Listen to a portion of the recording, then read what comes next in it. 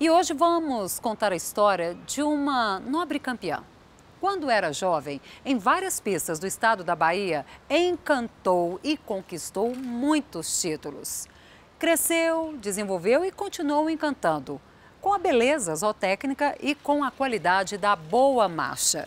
Hoje, aos oito anos, possui 56 títulos oficiais, entre eles o de grande campeã nacional da raça de 2023. Conheça agora a trajetória de Avena Mariquita.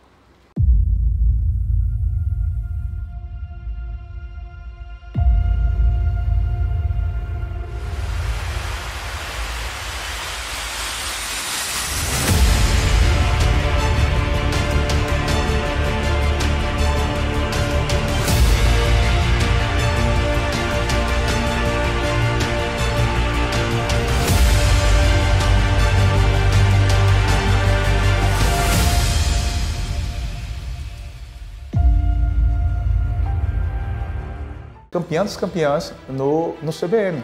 A melhor égua de marcha picada de 2022 é a Vena Mariquita. E ela se tornou grande da raça. Então ela acho que ganhou tudo que tinha para ganhar. A grande campeã da raça fêmeas de marcha picada deste ano de 2023 é a Vena Mariquita.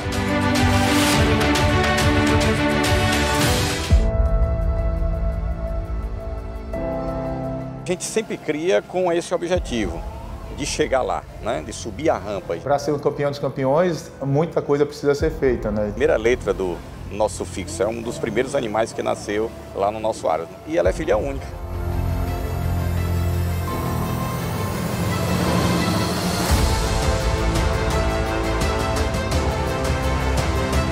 começamos a treinar e levar para a pista. Levamos para Irecê, depois levamos para uma Copa de Marcha no, no Aras Rios e Rios e lá foi campeã. Fizemos ainda, eu acho que duas ou foram três pistas. E todas elas a gente pontuava bem, ou era campeão ou reservado. A primeira vez que a gente viu a Vena foi na Fenagro, em Salvador, em 2018.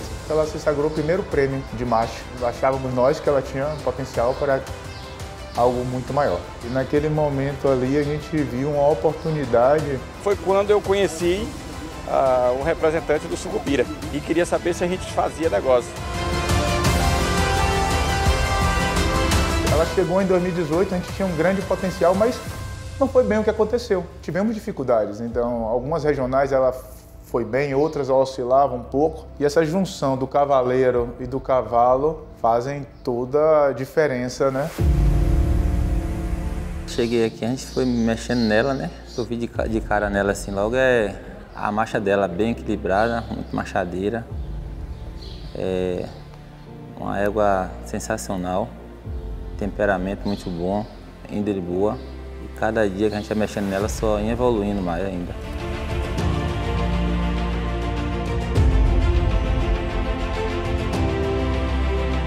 A primeira pista que eu saí com ela foi lá na, na Copa de Marcha do Aras Tourinho, na Bahia. Ela foi campeã de marcha e campeã campeã. Cada passo, cada exposição, ela ia melhorando. E a partir de 2020 ela se tornou um grande destaque, inclusive, acredito eu, para nível nacional. Depois disso, a gente levou ela para o CBM em Salvador. Ela foi reservada de macho.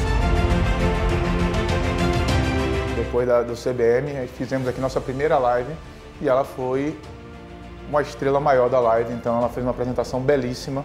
Ela fez um vídeo que viralizou aqui, Flávio, com com servindo água, então onde mostrava um equilíbrio, a dissociação, uma marcha. A partir daí, todo tipo de vendedores e de, de, de, de outros áreas tentaram se tornar sócio de, da gente, coisa que aconteceu no meado do ano seguinte, em torno de maio, abril, maio, o Baipendi se tornou sócio dela aqui, sócio da gente na venda. E se tornou um dos animais mais caros da carraça em 2021.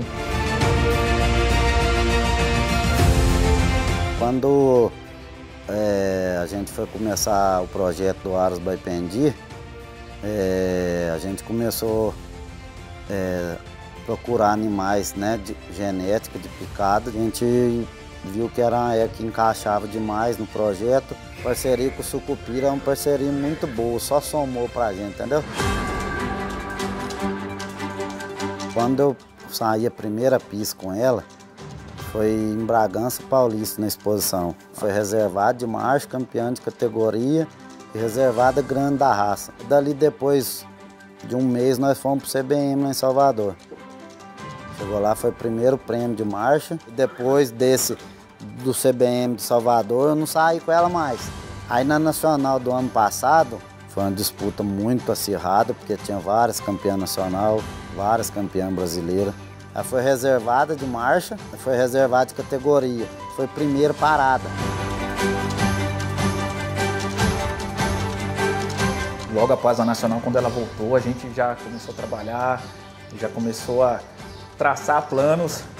E aí eu me lembro também que na época, quando a gente tomou a decisão de colocá-la, é, estrear, digamos, novamente com a gente, numa Copa de Marcha lá no Torinho, até Leandro ficou meio receoso, falou, poxa, a Égua acabou de vir de um título nacional, será que já é a hora da gente ir sair com ela? Mas a gente confiava muito, a gente estava muito convicto do que ela, do potencial dela, do que ela poderia apresentar.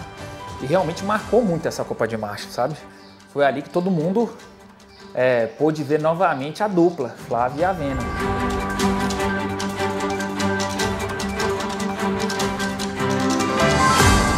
Aí o objetivo era o CBM. Então focamos totalmente no CBM, né?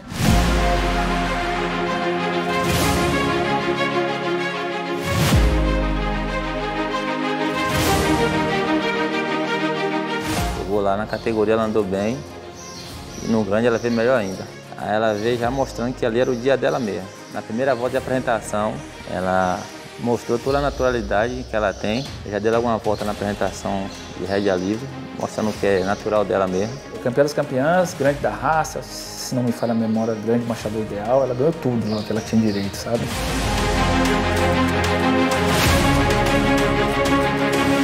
Ela já estava, para muitos, a, a melhor égua, uma das melhores éguas da raça. E a nacional já é diferente, então a gente tinha que exigir mais um pouco dela aí. Exigir mais um pouco dela na preparação, no bem-estar dela. Então a estratégia nossa foi de prepará-la somente para nacional. Minha expectativa estava lá em cima, então queríamos tudo. Ela falou, é, era o nosso grande tiro, era quem a gente esperava o máximo. Com certeza ela era uma das éguas cotadas para ter títulos maiores. Ela vinha de um, de um campeão dos campeões de CBM. Então era a égua a ser batida no nacional. O objetivo era conquistar o título máximo.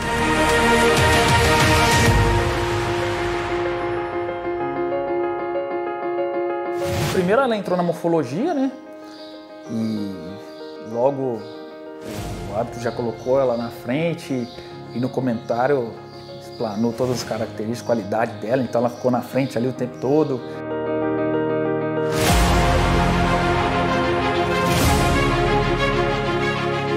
E ela foi a primeira categoria do dia, né? Então era ali 7 horas da manhã, a gente estava já na pista, então a gente já vem com uma expectativa maior quando ela vem para a marcha, né? Sabendo que ela já foi primeira parada. A gente sabia que a categoria dela seria chamada categoria da morte, porque na categoria dela tinha uma égua que é daqui também, a Jacinta dos Campos Gerais, que era a atual reservada campeã campeã nacional e reservada campeã campeã brasileira. Então, a gente sabia, nessa categoria quem passava já estava meio caminho andado pro grande. E foi uma disputa acirrada. Bonito demais essa briga, sabe?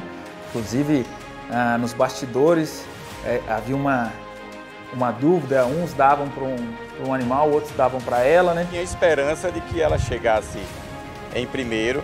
Ela deu o máximo que eu acho que, que ela tinha, já tinha chegado. O que ela tinha andado no campeão dos campeões de CBM, a gente acha que ela andou ali. A campeã nacional de marcha picada égua sênior maior desta 40 nacional do cavalo manga larga marchador é a Vena Mariquita.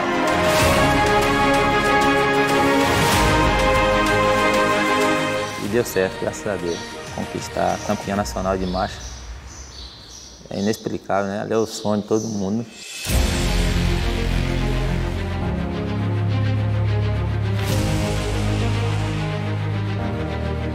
Grande, eu fui parar ela.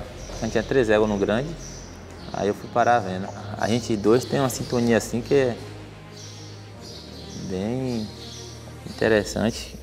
Ela parou sem, sem dar trabalho nenhum, tranquila. E os juízes ah, avaliando três éguas. Falou, poxa, será que esqueceram da Vena? A Vena não está nas três, o que foi que houve? E ali eu pensei, poxa, a Vena não estava nesse comparativo. Eu falei, poxa, eu acho que a Vena deve estar tá para trás. Na verdade, estava ao contrário. Ela estava na cabeceira, já tinha consolidado ela como primeira e ali ele estava vendo os, ah, as outras colocações. Era algo que me deixou muito apreensivo. Felizmente, a gente conseguiu colocar muitos animais no grande campeonato. E ali a gente tem que tomar a decisão quem vai montar em qual animal? Acabou batendo o martelo que a Vena é, ia dar muito certo para tocar ela. O Flávio passou o bastão para ele, ele fez com maestria isso aí, conseguiu tocar ela muito bem, deu tudo certo a nossa estratégia.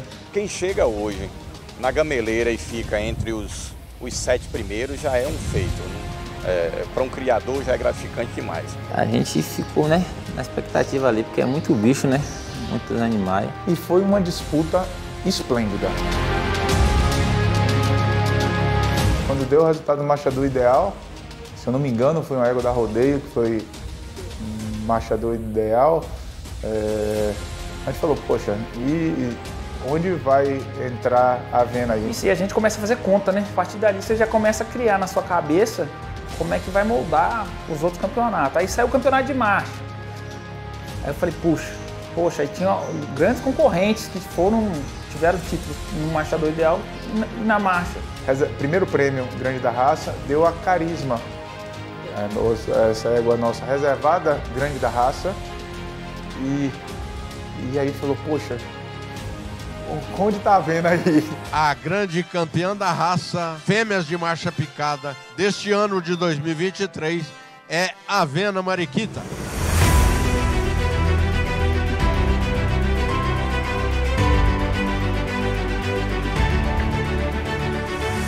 Aquela gritaria toda, aí pega um, joga em cima da égua, o outro sobe, um abraça o outro e levanta. É uma emoção que é, só quem já passou, né? E que sabe que o que é subir a, a rampa daquela nacional, né?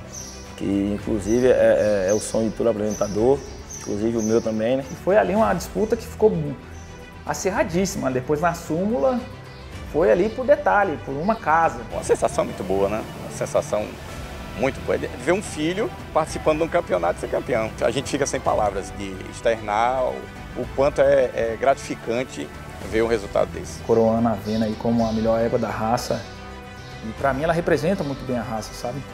Ela é um indivíduo que, se hoje você falar em manga larga machador, ela é uma referência. Então ela merece esse título de grande campeã da raça. Tanto que ela caminhou, então, tanto que ela evoluiu, tanto que ela cresceu. É consolidar um trabalho. Todo mundo está fazendo um trabalho direcionado e a égua também é uma égua nivelada por cima. Então, resultado vem mesmo, trabalho, dedicação, qualidade do animal, investimento. Então isso aí eu acho que não podia ser diferente. Enfim, ela conquistou muito mais, certamente, do que planejávamos no início. Eu tenho certeza que o sonho inicial era até mais modesto. Ah, claro que sonho cabe tudo, né? Mas a expectativa, ela, sem dúvida, ela superou todas as nossas expectativas. A Vena mereceu e nós também merecemos. Né? Tudo deu muito certo, graças a Deus, e tá aí o resultado. Eu acho que agora a carreira de pista dela já, já se encerrou.